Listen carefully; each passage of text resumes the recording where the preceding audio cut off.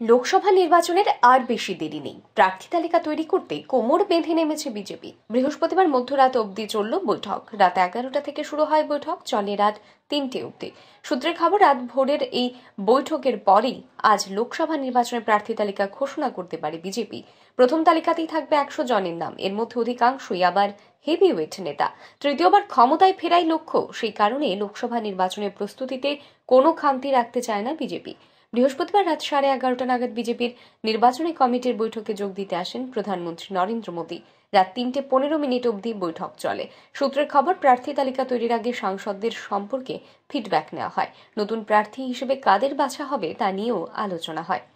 দলীয় সূত্রের খবর, বিজেপির প্রথম প্রার্থী তালিকাতে বড় বড় হেভিওয়েট প্রার্থীদের নাম থাকবে।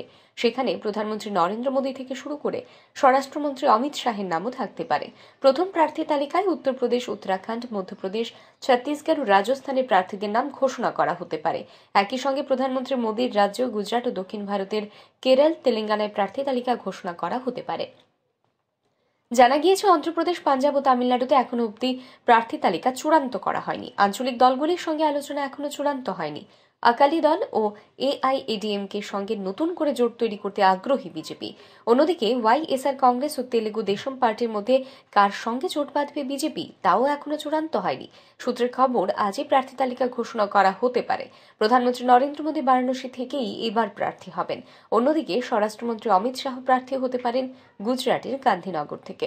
বাকি হেভিওয়েট প্রার্থীদের মধ্যে নাম থাকতে পারে প্রতিরক্ষামন্ত্রী রাজনাথ সিং কেন্দ্রীয় অসামরিক উড়ানমন্ত্রী জ্যোতিরাদিত্য সিন্ধিয়ার। দুইজনেই মধ্যপ্রদেশ থেকে প্রার্থী হতে পারেন।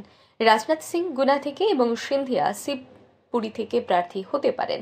এছাড়াও অসমের প্রাক্তন মুখ্যমন্ত্রী তথা কেন্দ্রীয় মন্ত্রী সর্বানন্দ সোনোয়ালের নামও প্রথম প্রার্থী তালিকায় থাকতে পারে। ব্যুরো রিপোর্ট, আর ই নিউজ।